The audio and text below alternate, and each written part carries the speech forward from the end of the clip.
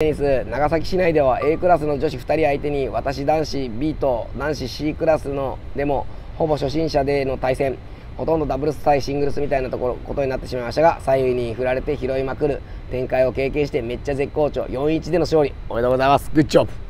えー、その後も体がブラウンは丸愛さん堪忍袋の方が切れたというかうん。まあでもねそうなんですよね。だからそこら辺ってやっぱりコーチってあの技術を教えればいいって思いがちなんですけどいやもちろん大切ですよでもそれはあくまで本人の受け入れだと、まあ、多くても10人、まあ、1415人じゃないですかでもねフィットネスのスタジオだとかねいろんなところ行くともう50人とかそういう人を収容するわけですよ。ね、その中でいろんな人に目配り気配り、えー、しないとダメですし、ね、もっともっと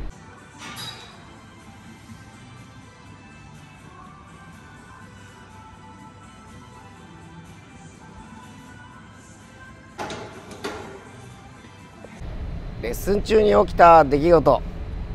ブラウンマリオアイさん激おこぷんぷん丸。はい。その他私はこう思います。テニスのコメントにお答えしていきたいと思います。自己肯定感上げるテニスコーチ加藤です。今回もよろしくお願いいたします。まああのブラウン丸愛さんね。はい、えー、まあお付き合いも長いのではい。あのー、ちょっとレッスン中での出来事でちょっとさすがにこれはって思っていらっしゃる、えー、コメントいただいてます、まあ、結構ね気にした上でのコメントだと思うんでねちょっと冒頭はちょっと僕 あのおふざけがちょっと過ぎましたけどもまああのー、23年目のテニスコーチとして、まあ、あといろんなコーチからね、えー、聞くもありえないお客さんねあと紙神客じゃないですけど、まあ、そこら辺を踏まえながら、えー、お伝えさせていきたいいただきたいと思います。恋ボタンとチャンネル登録よろしくお願いします。他の方のコメントもね読み上げさせていただきますので。はい。まああのー、まあ読みましょうか。いつも前向きになれる動画ありがとうございます。辛口上達への道からね、えー、コメントいただいております。はい。もしよろしければそちらも辛口上達っていくとテニシング TV で見れると思いますんで。ブラウン丸愛です。先日スクール中にブチ切れてしまいました。はい。どういったどういった内容でしょうか。ロブのボールが来れば自陣のコートの半分ぐらいでアウトアウト。あかっこボールはイン。本人が意図していない。ボールを打てば入ってる入ってる、えー、結果アウト。受けた側は困惑しながらリターンしプレーしてない私が片手を高く上げてそれを見たコーチがアウト宣言。ヒンダランスというかコートバイオレーションというかマナーを知らないというか、えー、てんてんてん。いつもこのような感じでいつもなのか、えー、この度はついにプレイヤーでないにもかかわらずプレー終了直後にアウトコールが早すぎる相手に失礼コーチが浮いている球を入っているというのは、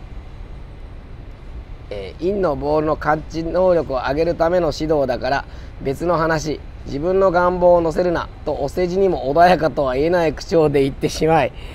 まあまあまあまあわかる気はします、えー、なんでこんな最低限のマナーも指導しないんだとふつふつと怒りが湧いた私はコーチを睨みつけてしまいました。えー、救いはスクールの時間が後半だったことと本人が素直にすいませんと言ってくれたこと、えー、こちらこそとなって申し訳ないと言いましたが空気を悪くしてしまい次のスクールが行きづらいです。えー、暗い内容になり申し訳ありませんし加藤コーチのお力で前向きになれるよう良いアドバイスをいただけませんでしょうかっていうので、えー、これは全然いいんじゃないですか。逆に言うとコーチダメでしょあのいやありますよ。あのまあねあの言葉を選ばず言うなイモる人。ね。でなんか自分がミスしてんのに他人のせいにする人とか。あとあのなんていうのか自分が取り損ねてねぼあの取れる取れるとかいう人とかね。あと前前前前とかいう人ね。いや前前じゃなくておめえが悪いんだよとかね、えー、あのそういうのはいっぱいあります。ただそれはコーチとしてやんわりと。例えば雰囲気察するのってすごい大事じゃないですか。最近僕あのいろんな業種のインストラクターさんとあのお付き合いの幅が広がってああやっぱり皆さんすごいなって。まあテニススクールだと、まあ、多くても10人、まあ、1415人じゃないですか。でもねフィットネスのスタジオだとかねいろんなところ行くともう50人とかそういう人を収容するわけですよ。ね、その中でいろんな人に目配り気配り、えー、しないとダメですし、ね、もっともっと大きい会場でいろんなことをね、えー、されてる方とか、えー、もっと大変な気配りが必要です。だからただこれもうそのそんなねお大人数でもいろんなことをこう気を守れてるコーチインストラクターさんがいる中でテニスコーチ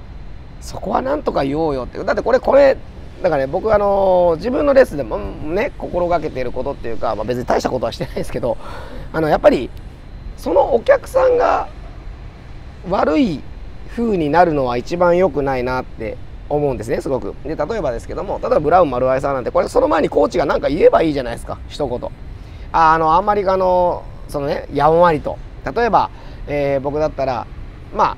大体こうちょっとこう意図的にイモるまでいかないけどもちょっとその予備軍に入りそうな人とかがまあ、振り替えで見えたりとか、ねえー、クラスのふに来られたりとか、まあ、23年もやってるとね、まあ、まあ結構ありますよね。で周りが「え？あれ入ってんじゃね?」みたいな空気になった時に、まあ、もちろんね「いやそれ今入ってましたよね」っていうのもできるけどそうするとなんかこう角形じゃないですかそういう場合はまああのまあ、その人にも啓蒙するようにまあでもセルフジャッジなんでねやっぱ難しいところですよねまあ、僕から見てたら入ってたと思うんですけど、まあ、セルフジャッジお願いしてるから、まあ、こういうこともありますよねっていうのをこうやんわりというそうすると周りの人も次から気をつけようと思うしあのやっぱりこういったブラウン丸愛さんみたいななんかちゃんとしたこと言ってる人がなんか肩身狭い思いをするってこれおかしいと思うしあれまずコーチの責任ですよこれ。あのこんなことになったら多分普通のスクールだったらコーチ怒られます。はいまあ、もしかしたらベテランなのかちょっと悪の強いコーチなのかわからないんですけどだってあの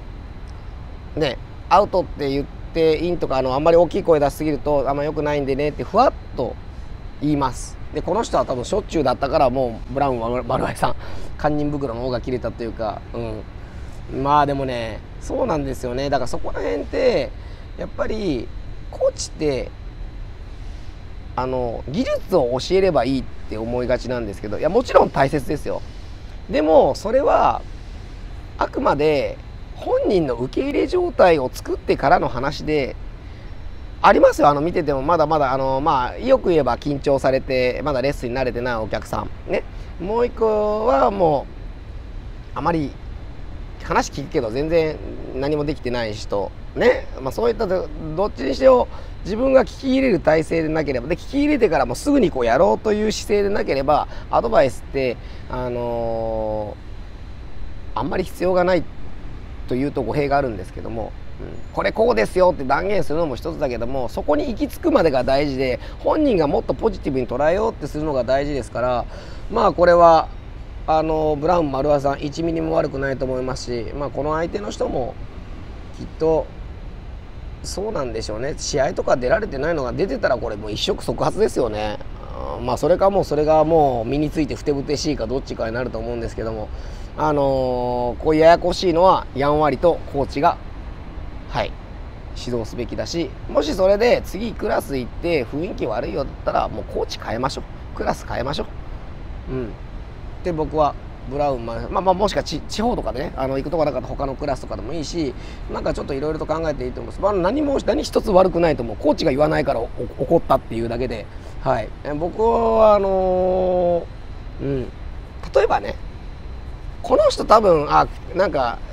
ブラウン丸屋さんじゃないですよ。ブラウン丸屋さんはあのもうお付き合いも長いからね。こうコメント上ですけど。だからまあどういう方かっていうのも存じ上げてますから。あのどっちかっていうとなんかこの人自分よがりにテニスしてるなって人とかだった場合はああこの人人に言うけど自分できてねえやとかね。あの自分の気の乗ってる時はチェンジ、えー、の普通にするけど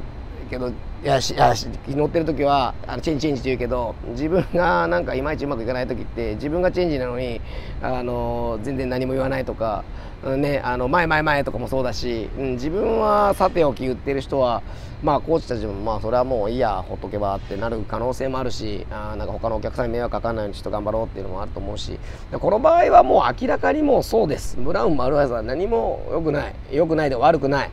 なのであのはい。コーチもこれは反省すべきだし僕が逆にここにコートいたとしたらあちょっとなんかあの寛容すぎたかなっていうので、はいあの反省します。はい。全然悪くない。もうこれはでもあるあるです。あの、若いコーチとか、まあ、ちょっとあんまりこうレッスンに身が入ってないコーチになってきた時になんとなく流しちゃってる。いやそれ気づかないとダメだよってなるのでこれははい結構指導ものになると思うのでブラウンバルエさんグッジョブだと思って自信を持ってくださいはい、えー、としさんありがとうございます。重いボールとリズムとタイミング、いつもお世話になっております。そして楽しい時間をありがとうございます。いや、ありがとうございます、元しさん。還暦向かって、えー、頑張っています。はい。えちょっとね、今ね、あのー、カメラがね、あのー、こんなになっちゃって、僕こうやって喋んないとダメになっちゃったっぽいんですけど、はい。えーボルグ・マッケンドーという映画を見ると面白いですよっていうのでちょっと時間があったら見させていただきます。途中に挿入されるブロンディの「コール・ミー」という曲はストレスある私をストレスフリーにしてくれます。911入れたのでこれもあの入れたいと思います。ありがとうございます。いつも、えー、ブロンディの「コール・ミー」かいいですね。911ねえー、そんなのあったんだと思ったけど聞いたことがあるやつだったのではい。さすがトシさんありがとうございます。僕もトシさんめがけて頑張って還暦いい還暦になるように頑張りたいと思います。はい KG4577 さん右方に出来物があるようですがお体ご自愛ください。ありがとうございます。よく見ていただいてますね。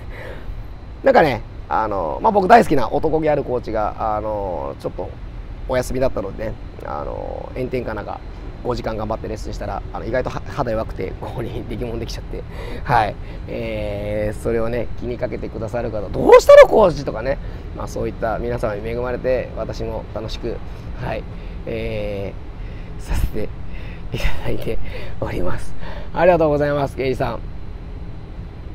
あということで、えー、次行きましょうか。最後。龍一さんテニスの調子を上げるために必要なことというのでね。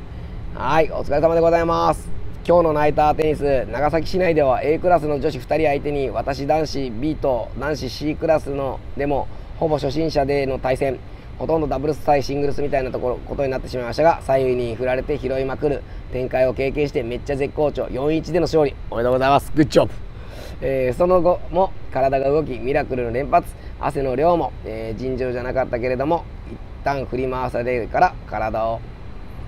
鳴らすのも調子を上げるためには良いかもしれないと思った。私の意見です。というのでそうですね。実は暑いですね。えー、そうでした。はい。えーテニシング TV では55歳以上男性ミックスダブルス、えー、出たい紳士な方、えー、募集しております。はい、えー、といった形で、